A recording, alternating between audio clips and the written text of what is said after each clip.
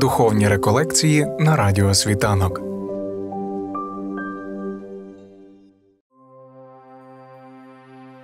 Слава Ісусу Христу, дорогі брати і сестри.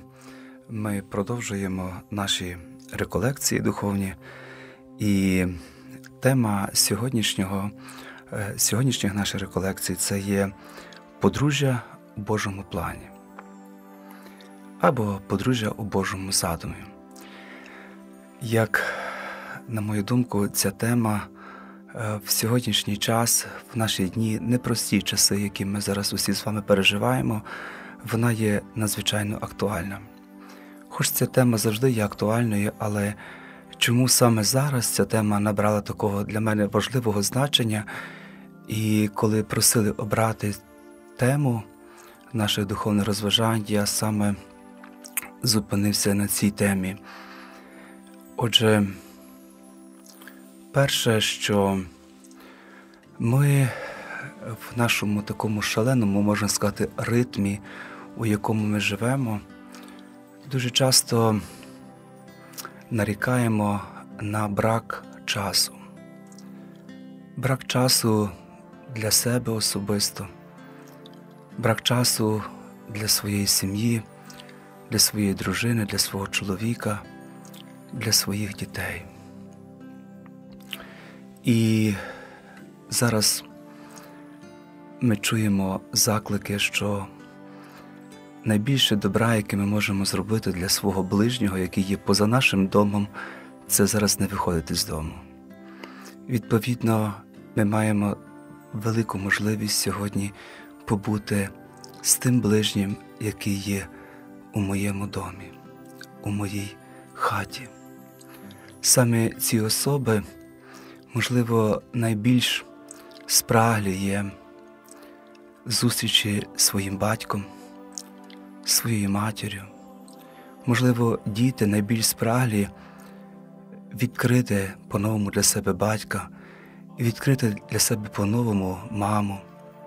Можливо, ми, будучи в ці дні з певними особливими переживаннями, борючись за наше життя, за нашу безпеку, так е, багато що до мене промовляє оцей, коли ми бачимо людей у масках.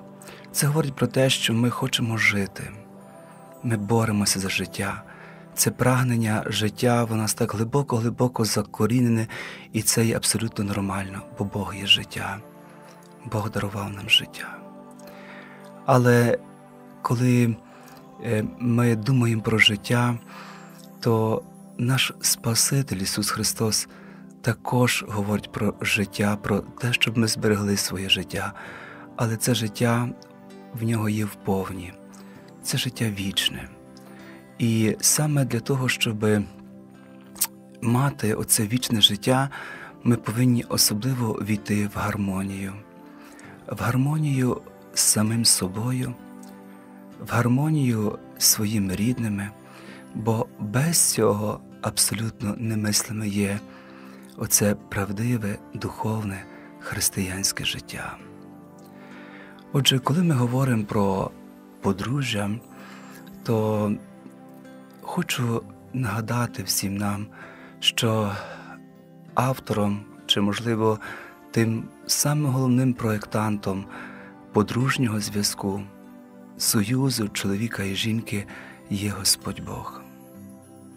Тобто, коли ми говоримо про Божий задум, про Божий план, то сам Господь Бог його створив. Сам Господь Бог е, в першій книзі буття, коли мова йде про створення людини, Він говорить, що на Божий образ створив Він її, чоловіком і жінкою створив їх, і благословив їх Бог, і сказав їм: будьте плідні і множтеся, і наповняйте землю та підпорядковуйте її собі. Такі слова ми читаємо у першій книзі буття. Так Господь говорить про людину, що Він її створив чоловіком і жінкою на свій образ і на свою подобу.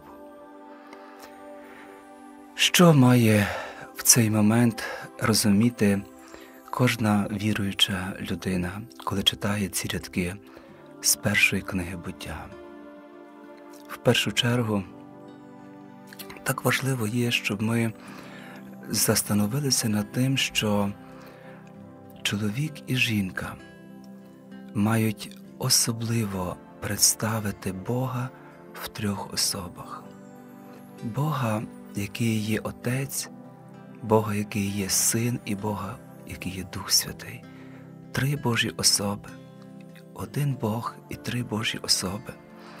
І саме коли ми можемо говорити про розуміння Пресвятої Тройці, то найкраще розуміння цього можемо дізнатися через відношення один до одного.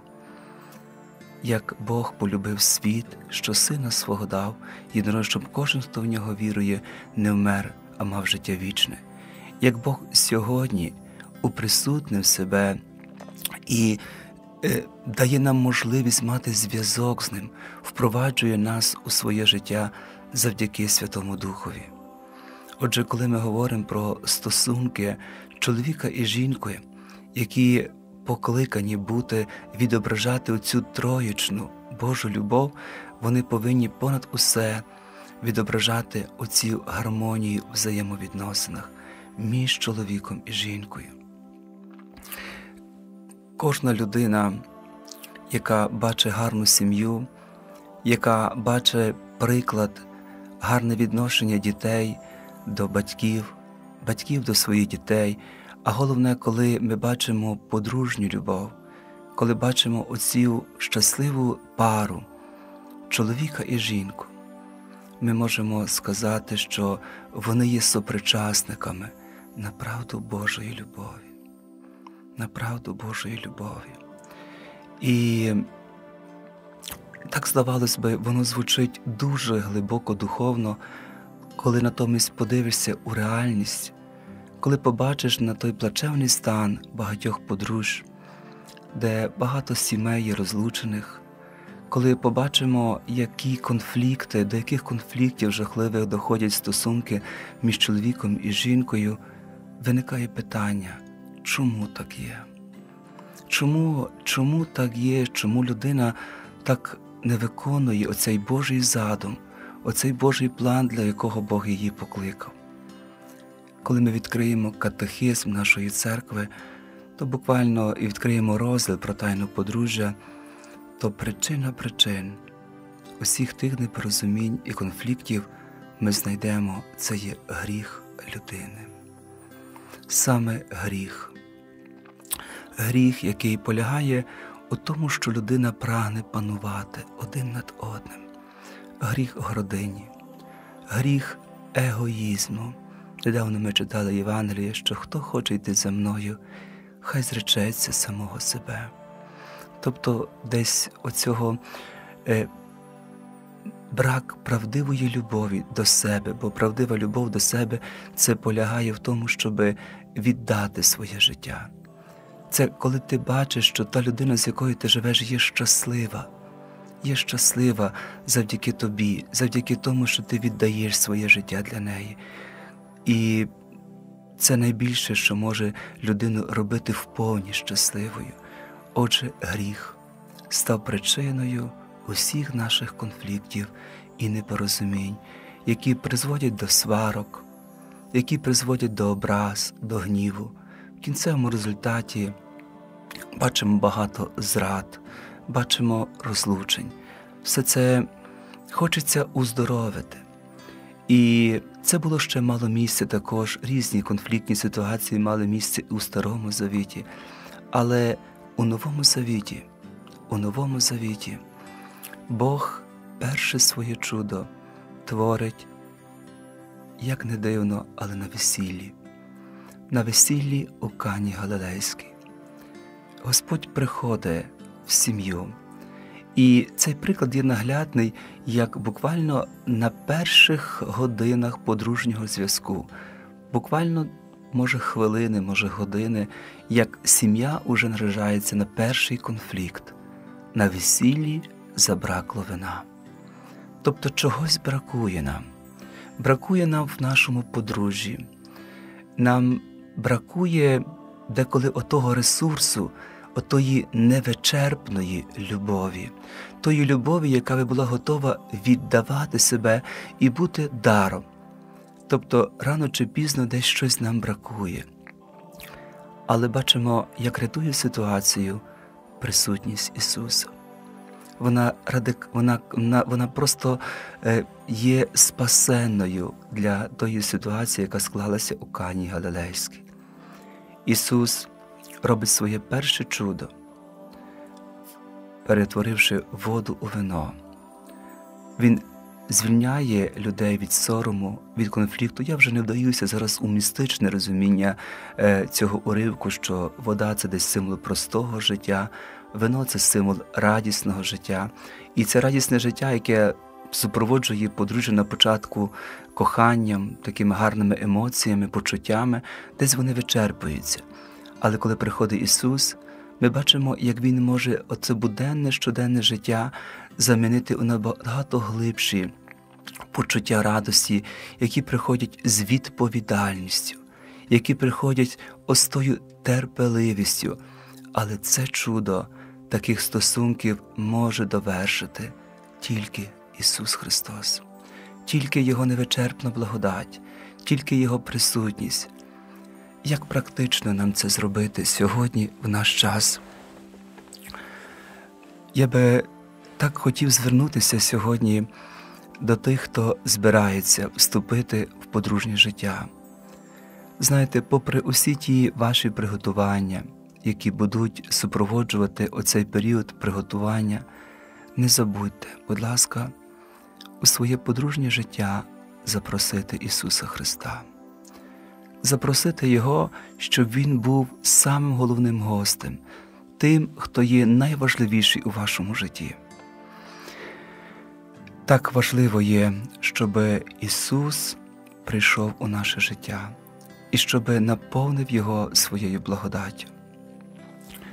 Коли ми хочемо, я вже сказав на початку, що причина причин усіх непорозумінь, конфліктів в сім'ї цей гріх, значить, нам потрібно когось, хто би міг усунути гріх з нашого життя. І зараз я буквально три речі чи чотири хочу сказати, які стосуються керигми, які стосуються тої найголовнішої проповіді, яку проповідували апостоли після того, як зустріли Ісуса Воскреслого, як побачили Його. Вся їхня місійна праця полягала у тому, що вони ділилися радістю зустрічі, радістю зустрічі з Воскреслим Ісусом Христом. Отже, коли ти хочеш мати добрі стосунки в своєму подружньому житті, перше, що ти маєш зрозуміти, що треба дуже відкритися на Божу любов, на Божу любов, яка є джерелом тої любові, яка ніколи в тебе не закінчиться, яка не вичерпується, яка завжди, завжди буде просто з новими силами приходити, бо ця любов є жертовна. Ця любов є даром, є дар Духа Святого. Каже Ісус Христос е, через Євангелиста Івана е, у 15 розділі від Івана каже, Івангелі від Івана каже, перебувайте у моїй любові. Як нам важливо сьогодні прийняти Божу любов і, будучи в подружньому житті, і вступаючи, готуючись до подружнього життя, та людина зробити може іншою щасливою, коли вона сама щаслива, коли ти сам наповнюєшся Божою любов'ю, благодаттю Святого Духа, коли ти приймаєш оцю, оцей дар неба, батьківську любов, пригадайте собі притчу про блудного сина. Це, Це є образ небесного батька. Іде син, а цей син це є кожен з нас, напевне, який віддаляється від батька, так і ми десь віддалилися від батьківського дому, можливо, віддалилися від Бога, але син не може забути батьківської любові. І коли прийшла криза, коли прийшла якесь випробування в його життя, він згадав собі, що Бог його любить. Отже, ти, дорогий батьку, ти, дорога дружино, відкрийся в такий непростий час коли ми зараз більшість часу маємо для молитви, маємо більше часу побути вдома, щоб подарувати любов дітям, ти, батько, майже її мати, щоб подарувати любов своєму чоловікові, ти, дружина, майже її прийняти від Господа Бога. Отже, перший номер один у цьому розумінні, ким є Бог, Бог є любов. Бог тебе обдаровує своєю любов'ю і хоче, щоб ти тою любов'ю поділився в першу чергу з найріднішими своїми, з найближчими. Якщо це є мова йде сьогодні про подружжя, то своїм чоловіком, своєю дружиною. Згадуючи притчу про блудного сина, коли ти розумієш, що ти є не ідеальний батько, ти розумієш, що ти і я, і ти, ми не ідеальні є, бо ми є десь позначені тим, що і праведник сім раз на день грішить, ми часто падаємо. Але коли ми падаємо, то дуже важливо є пам'ятати, що зустріти Ісуса це жити святими тайнами, це жити і бути в церкві. І ці тайни, які супроводжують кожного християнина, ці тайни, які супроводжують кожну віруючу людину, це, зокрема, є тайна Євхаристії і тайна сповіді. Тайна сповіді. Я не знаю, де ми так ще можемо пережити зустріч з Ісусом, який би забрав гріх мій, який би дав мені нову якість життя, як у тайній сповіді. Ніхто не може, ніхто не може забрати віру з гріха. Ніхто не може його нас звільнити від Нього. Від Нього є тільки один це Ісус Христос, який є наш Спаситель який прийшов і переніс оце пасхальне таїнство, помер на Христі, був розп'ятий. Він воскрес із мертвих, Він зіслав нам Духа Святого тільки для того, щоб бути з нами. Мабуть, найбільшим гріхом проти Святого Духа це не прийняти спасіння, це відмовитися від того дару, дару нового життя, від того, що Бог хоче тобі і мені простити гріх для того, щоб ти, усвідомлюючи свій гріх, міг також і розуміти інших грішників і міг з ними ділитися про Боже милосердя. Отже, це так, це так важливо є. Зустріти Ісуса не просто абстрактно говорити, що ми там зустріли. Ні, це щоденна боротьба з гріхом, це щоденна праця над самим собою. Я ще раз повторюю, той непростий, нелегкий час, який ми зараз з вами переживаємо, ми не маємо часу для себе. Ми, Бо найдовша дорога, яка є в житті, яка може бути, це дорога до свого серця, це дорога до свого справжнього я, ким я є, хто я є, звідки я прийшов, для чого я живу, куди я йду, які цінності в мене є. Отже, спробуймо це для себе в тому, в тому часі Великого посту, цьому часі, коли ми переживаємо такі непрості дні, але вони можуть бути знаком для нас. Зупинися, подивися, хто ти є, розберись самим собою, які твої цінності, які твої пріоритети, чого ти очікуєш від життя, чого ти очікуєш від своїх стосунків, своїй сім'ї, від своїх дітей, своєю дружиною. Є прекрасна нагода для того, щоб ми зараз, можливо, увійшли в нову якість нашого життя. Сьогодні багато хто говорить, аналізуючи цю подію, ту ситуацію, що зараз має відбутися якесь перезавантаження нашої свідомості, наших поглядів, нашого життя. В той момент, коли ми так хочемо жити, в той момент, коли ми так всі бережемо своє життя, хочеться просто на весь голос закричати і промовити: Я хочу, я є життя, і в мені є повнота життя життя, яке ніхто не може забрати від вас. Це життя вічне. Це тут життя в повноті, життя в гармонії, в любові, життя, в в якому я хочу забрати ваші гріхи. Я прийшов для того, щоб забрати ваш гріх. І віддаймо сьогодні Ісусові ці гріхи свої, ці конфлікти, ці образи, цей егоїзм, оцю гординю житейську, яка нас так часто поневолює, і від нього страждає, і від неї ми страждаємо. Оці якісь такі речі, які ну, не, вар... не варті стільки часу, скільки ми їм присвячуємо. І коли ми відкрили в собі Божу любов, коли ми прийшли до щирого покаяння, коли ми віддали Ісусові свій гріх, все, що нам залишається робити, це ділитися з іншими, це ділитися Його любов'ю. І я би так хотів, щоб для мене особисто тими людьми, першими людьми, ким я доношу цю керигму, цю істину, цю правду, це є мої діти. Це є та особа, з, якою я маю на щодень не словами, не лише словами, але власне невербальною мовою, своїми жестами, своїм служінням, своєю турботою поділитися і донести тим, хто є поруч біля мене, що я їх люблю, що вони для мене є дорогі, а моя любов до них це є батьківська любов, це є любов Небесного Отця, якою Він їх пригортає.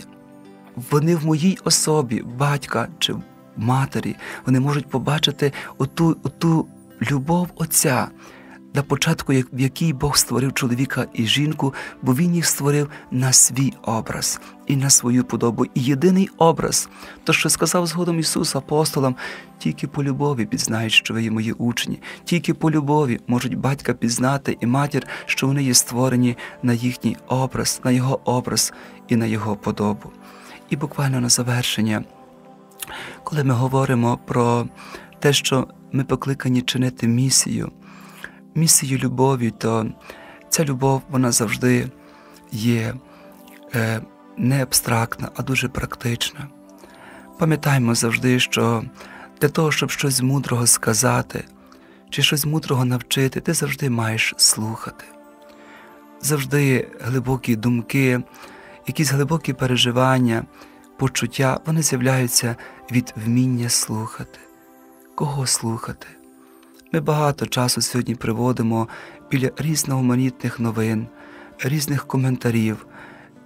Може, вартує в той час відкрити Боже Слово, почути, що Бог хоче мені сказати, можливо, прокоментувати такі непрості події сьогоднішнього дня у світлі Божого Слова, Божими очима, Божими очима подивитися на все те, що відбувається в моєму особистому житті житті, яке є довкола мене.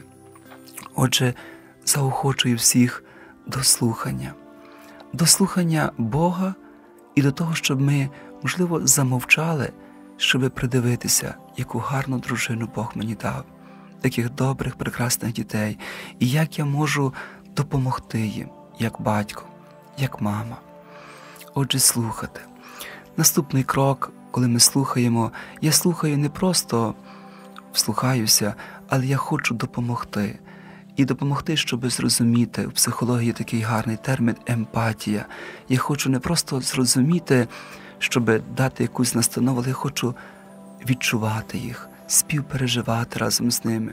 Я би так заохотив вас, щоб в наших е, щоденних розмовах, в нашій сім'ї не було іронії, не було цинізму, сарказму. Пам'ятаємо, це і вбивчі сили.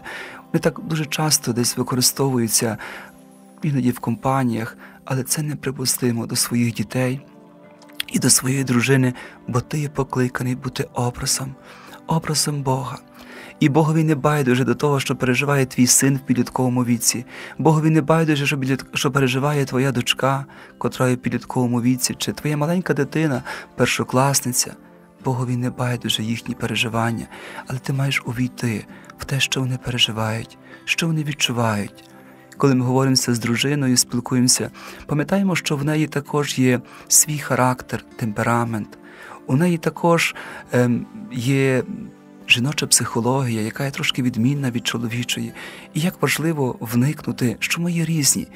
Адже Отець, Син і Дух Святий, вони є різні, але вони глибоко проникають одне в одного, вони відчувають одне одного. Таке перехорезі, це грецьке слово, проникнення один в одного. Так би хотілося, щоб ми могли проникнути в один одного і допомогти. Пам'ятаймо про пріоритети у нашому подружньому житті. Бог на першому місці, на другому місці є моя дружина. На третьому місці є мої діти, на четвертому мої батьки, і на п'ятому моя робота. І не навпаки.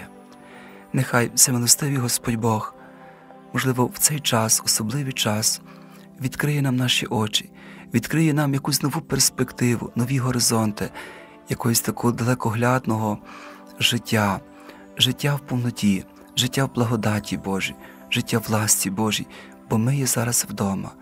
Використаємо цю складну ситуацію, але ми можемо її використати і зробити щось, якусь революцію у нашій в доброму значенні цього слова, у наших стосунках, в сім'ї, з нашою дружиною, з нашими дітьми. Нехай нам цьому допоможе всемилостивий Господь. Слава Ісусу Христу!